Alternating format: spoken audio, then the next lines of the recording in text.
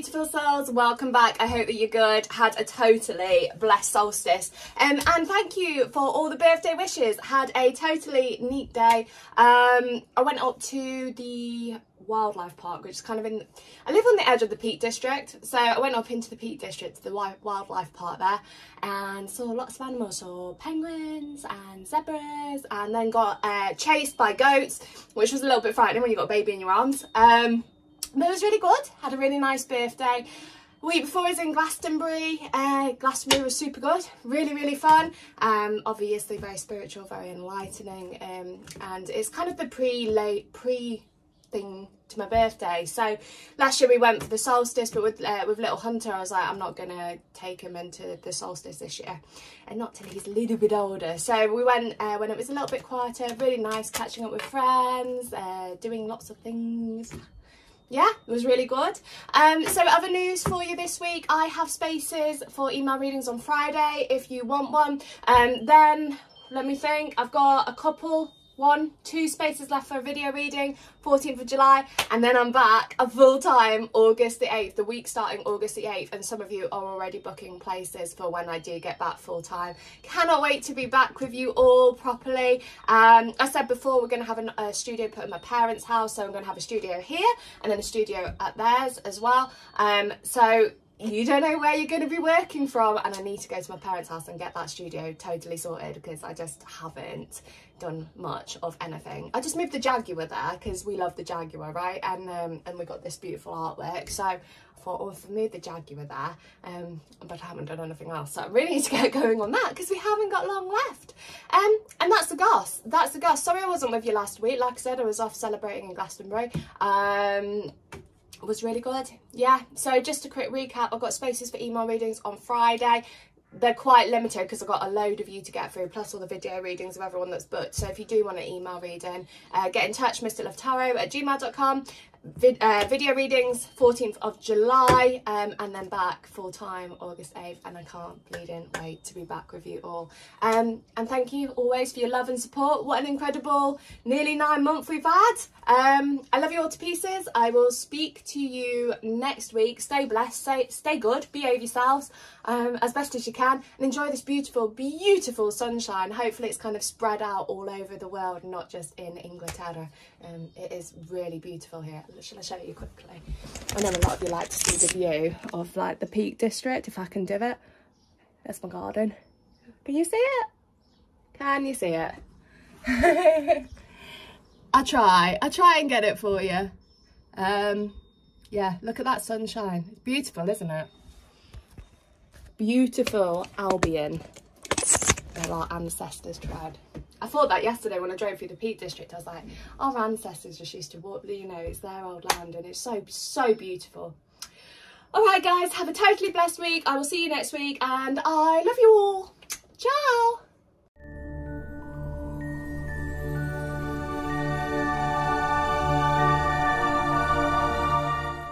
hello beautiful souls welcome back i hope that you've had a good week um so this week what we are doing is Are They Watching Your Social Media? And we've got two decks to pick from, complete opposite ends of the spectrum. So you've got the Celtic Tarot and you've also got the Victorian Romance Tarot. So complete opposite ends of the spectrum, number one, number two.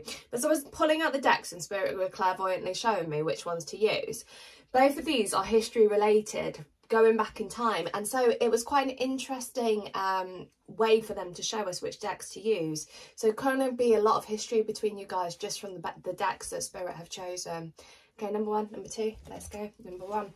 So deck number one. As always let's the strongest mutual energy between you all regardless of your circumstances I'm just going to have a look going into their energy. So the first thing that's coming up as I am scooping through all of your energies and pulling it all out is we have got this nervous anxiety in your stomach. Um, you guys really aren't sure about the situation, where the situation's heading, what's actually going on. And it gives you this very strong anxiety in your um, solar plexus, spirit saying. So your solar plexus is two inches above your belly button, where it's the colour yellow, um, and it can also be to do with the bones in your body as well. Just throw that on the sideline. Um, when your solar plexus is feeling a little bit out of kilt, um, it can cause this anxious feelings. So your chakras are the energy points in your body and they should spin really, really slowly. And you'll often find that they become overactive or underactive, really like stuck. Um, so that anxiety is coming forward with you guys first and foremost as we're stepping into that energy. Things you can do to counteract that, uh, get some yellow crystals, um, quite a good one. Yeah, the yellow crystals. I was just trying to think which ones. Um, not calcite. Um, it begins with a C and it is yellow and it's like I can't remember its actual name. It would take me ages to find it. But any any yellow crystals will do to help counteract that energy. Okay, so you guys are feeling a bit anxious, a little bit nervous over the situation.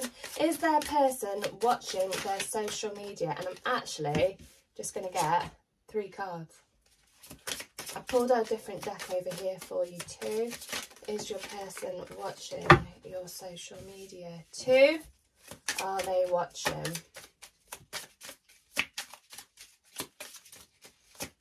So Spirit are saying there are ghosts here, like ghosts from the past. And again, this is probably why they chose took us back to the more historic decks. Um, there are ghosts here. And when you have ghosts, as in things that have happened with you guys, you don't just suddenly forget about them, do you? You know, we all have ghosts, we all have demons in the closet. And sometimes you can think everything is okay, but still that ghost will come back and haunt you. And that is the energy that's coming up. Is there a person watching their social media? This deck is out of print now. Um, this is the answer deck and it is very blunt, it's very direct, um, but it gives you the answers that you need. Are they watching social media? Two.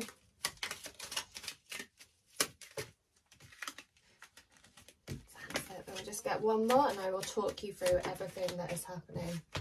Okay, so the overall outcome at the moment is they will be. okay so if they're not doing it yet they will be. And this is what spirit was saying about the ghosts. So let's start at the very end and then i'm going to take you back in time. So the overall outcome of whether they're watching your your social media eventually they will be. So you have the knight of pentacles over here this dude on his beautiful dragon. He's making slow and steady movement towards you. And even though he's on a dragon and dragons are quite fast moving this is a card of slow and steady movement.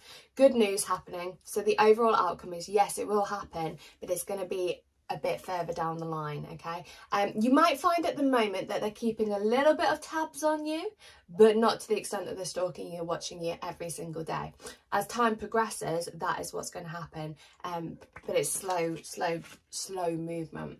So where you are at the moment, you've got the Nine of Swords and Deception. So this is what we're talking about ghosts. This is what we're talking about fears, nightmares, worries, doubts, like what's actually happening. Your person is in a bit of avoidance over this at the moment. So whatever's happened between the two of you, wherever you ended up, how you ended up, your person is currently just trying to switch off from the situation, avoid it, not really do anything on it. And that's why the card of deception is coming forward, okay? They're wearing a mask over this um, and they're trying to avoid watching it. Checking up a little bit here, a little bit there, but overall trying to avoid it. With the Nine of Swords, it's because they don't want to see something that's going to trigger them. So they're avoiding the situation with you, avoiding watching social media because they do not want to see something that's going to trigger them. They are thinking it's best off to just step away from the situation, not really think about it. Um, but this is where the deception comes in. So not massively watching you at this point in time um, because they've got these worries, doubts, fears. They'll see something that they don't want to and that they're trying to avoid the situation. What's going to change the energy between your outcome over here of them definitely watching and where they are at the moment, them avoiding? The answer is forgiveness and this family unit happening. So this card over here stating the word forgiveness. And then you also have the Ten of Pentacles. So the energy between these two points, point A and point C, is point B. And point B is talking about them missing you, wanting you, feeling that they need to let their barriers down over the situation. And the reason why is because of this Ten of Pentacles energy, the family unit. They can see that there is a future with you. Now, the 10 on the Pentacles stands the end of a cycle. So where it has been in this kind of deception, I'm running away from my thoughts and feelings, I'm going to be, he's your person is going to be shifting that energy and it's going to come from this forgiveness, okay? You forgiving them and them forgiving themselves, but some of you guys um the other way around as well, okay? So this need for forgiveness. Once this forgiveness happens, that movement will come towards you those pentacles energy of watching your social media. And um, could be as well that family are potentially involved in this family friends and um, other people you will know about that. Okay so if you're like what ali? I don't know um that's because i won't be talking to you. Some of you guys family um, and friends will be an influence on this. Um so it's your person taking a step back from that influence will bring this slow steady movement towards you.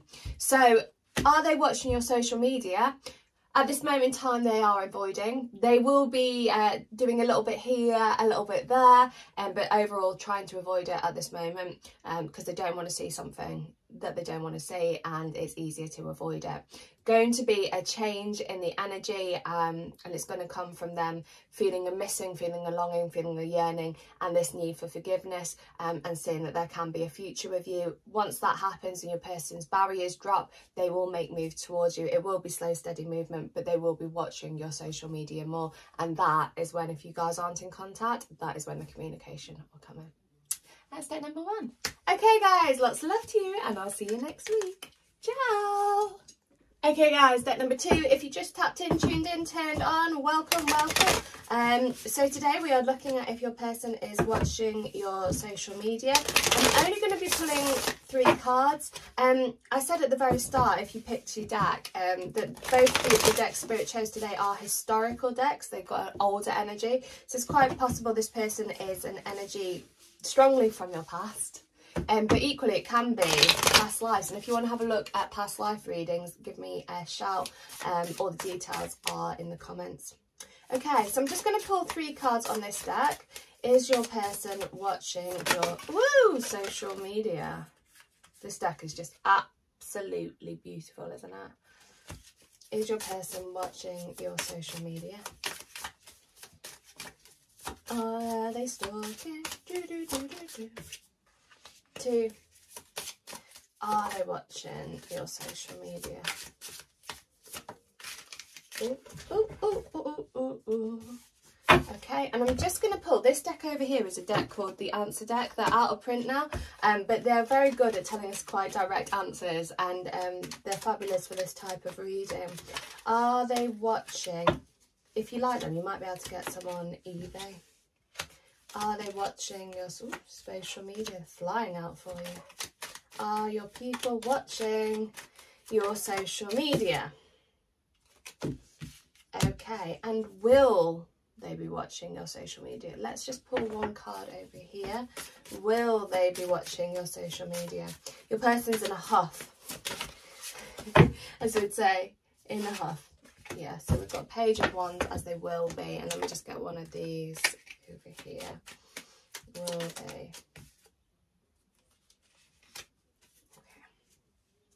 Right, your person, like I said, is in a huff, in a mard, um, as we say in England, a little bit grumpy, feeling quite pissed off over the situation. So at this moment in time, they're kind of, spirit of saying, cut off their nose to spite their face. So you've got the Five of Pentacles and you've also got the Lesson. And let's link these two energies in together. This is called a blended reading when you use two decks. So your person is feeling quite alone, quite isolated, feeling a little bit hurt over the situation and spirit is saying that your person is holding a grudge. So whatever's happened to, between you both what, regardless of where you are and your circumstances your person is sheltering sheltering sorry sheltering and holding a little bit of a grudge. So the sheltering energy that's coming up over here is the hermit. So your person is retreating avoiding pure avoidance behavior happening here and totally ignoring the situation. They should theoretically be doing some soul searching delving into the dark nights of the soul but really they are in this kind of avoidance energy at this moment in time. Um they're feeling spirit saying quite barren. As in um they haven't got what they want in their life and they're feeling quite yeah, like again, feeling quite sorry for themselves, ever everything that's gone on, and they're taking it out a little bit on you. Now, when we've got the lesson card over here, this is suggesting, if we look at the picture, that there is this watching. Okay, there is this watching on social media, and there is a pointing, and there is this this construction that comes from that. So at the moment, they are in avoidance over the situation between the two of you and they are refusing to do some soul searching. But equally at the same time there is this kind of i'm keeping an eye on you. So if they've got you blocked or if they've got you I don't know, ignored, restricted. I don't really know how it all works on, especially on different platforms. I, I'm not entirely sure. Um, if they've got that happening, it will be other people that are watching you. There's also potentially fake accounts going on here. Okay, so avoiding, yes, but keeping tabs on you equally, yes. But is it them doing it? It's likely to come through other people. So other people are watching your social media and reporting back. And again, this is kind of where the lesson card comes in. You know, like in school, the teacher would be the one that would provide the information to you guys. That's what's happening. So other people providing information about what you were up to because your person is holding a grudge. Um, with that grudge energy, could be a water sign as well. Um, I don't normally work with astrology when it comes to uh, collective readings and um, just because there's so many different star signs out there, but the grudge energy, that water energy, or very strong influence of the moon on your people too. You might find that your people are a little bit like werewolves. I don't know if you've ever noticed that, but in the full moon, they might be getting a little bit more mardy. So where they are at the moment is reflecting, retreating. You've got the um, scythe over the top with the hermit, cutting the situation off, avoiding, again, pure avoidance. And um, now what happens when a person goes into hermit mode? So someone, like I said, goes into this avoidance behaviour. They go within themselves and they start trying to find answers, seek the light. Now, your person's not quite there yet, but as they're progressing forward, um, they are going to get some inspiration. That's what the key's for, okay? So this, this downtime from you will give them the answers that they need over the connection between the two of you. So reflecting, retreating, avoiding, to reflecting. That's where your cycle's going. The next cards that you've got over here is Ten of Wands and Dark Haired Woman. Now, we're never sexually orientated or gender specific on this channel. Um, it reads private readings. It works with your energy and your person's energy. So it is then. But for collective readings, it isn't. So this dark-haired woman will take this as a dark-haired energy. It could be you, could be them.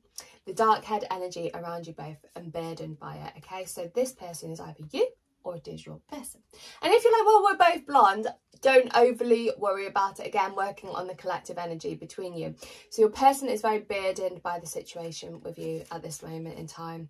Um, and if you look in the background over here, you have this little boy. And this is, again, the same energy of watching you, but watching you from afar, watching you from a distance, okay? So, yes, they are watching you, but from a further part. They can see, with this lady carrying the baby, they can see that all the dreams and hopes and ideas and aspirations are within you. They're just not ready to let go of that grudge at this moment. Where it's going. So what will happen You've got your page of wands over here, so this is communication coming in. It's going to come from a place of wisdom and peace, okay? So communication coming in, definitely watching social media. I do feel at this page of wands energy, you might actually feel um, some of you guys will end up at parties some of you guys will end up seeing your person face to face with it being a one's energy um but actually there is a, a, a, spirit saying there is this this intellect energy coming forward which would suggest internet okay so mind energy intellect internet it all kind of links in together I won't bother explaining it to you, but yeah. Um, so you'll find that your person will reach out to you, they will communicate with you. Um, and again, it comes from a space of wisdom and peace. So when they do talk to you or they do reach out and they do say hey well, how's it going? What's happening? You might find that they are going to try and really irritate you and take the moral high ground and be like well you know this happened and that happened and this is what it is. It is what it is. If they do that just give them a bit of space let them get on with it because they'll come bouncing back and be like hey eh, sorry i didn't actually mean that. And it's a way of protecting themselves. So when they do reach out to you again you might find that they're a little bit blasé over it all but the fact that they reached out just shows a thousand words, doesn't it? Um, so yeah, at the moment, avoiding watching you. avoiding watching you, but watching you from afar, getting other people to do it, where it's going. Once your person's had this reflection time, they will be back in touch with you if you guys are not in contact um, and they will be watching your social media more then. They'll be ready. They'll be ready to see what you're up to. And that, my loves, is deck number two. Um, have a totally blessed week. I will see you soon. Lots of love.